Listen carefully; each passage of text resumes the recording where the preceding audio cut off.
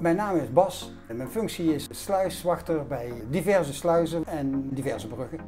S morgens om 4 uur loopt de wekker af, ontbijt maken, klaarmaken voor vertrek. En dan spring ik op de fiets en dan begin ik om kwart voor vijf mijn eh, werkdag hier op eh, Sluis Engelen. Je hebt een ontzettend afwisselende baan. Er is geen dag hetzelfde op zo'n object als dit. Daar uh, gebeurt iedere dag wel iets. Ik heb altijd iets met water gehad. Zo ben ik van jongs af aan al gaan zwemmen, duiken en kanoën en zeilen. Ja, totdat dit op mijn pad kwam. Dat was natuurlijk een lotje uit de loterij. En als je dan ook nog eens een keer dienstverlening kunt uitoefenen in je vak, ja, dat is gewoon iedere dag genieten. Het leuke bij Blue Amigo is dat je bij een groot bedrijf werkt wat eigenlijk onzichtbaar is, op de achtergrond werkt, maar toch belangrijk is om de zaak draaiende te houden.